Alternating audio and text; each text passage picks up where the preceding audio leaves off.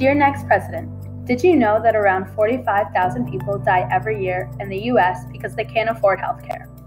44 million people in the United States have no health care insurance, and 38 million have inadequate health insurance, meaning that more than half the population doesn't have the means to go to the hospital, get regular checkups, or pay for surgeries that are necessary for their health.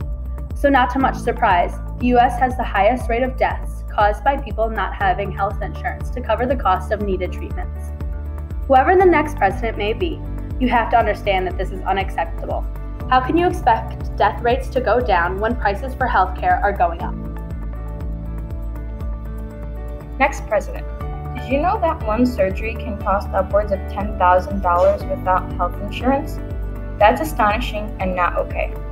We understand our population's tax dollars are going to healthcare like Medicare or Medicaid, but these organizations only provide healthcare to about 57 million people in the US per year.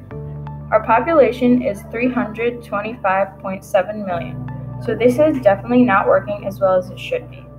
You need to either make revisions to the way these health insurance organizations work, offer better options, or above else, offer universal healthcare. One way that we could lower the cost of healthcare is by making it so that all citizens have the right to healthcare. This would make it so that health insurance companies would have to keep their prices affordable to make sure everyone has the option to have healthcare. Too many people in the country are dying because of this country's inability to support its citizens. Please find a way to help keep our population healthy and find a way so they're not afraid of going broke on a surgery that could save their life.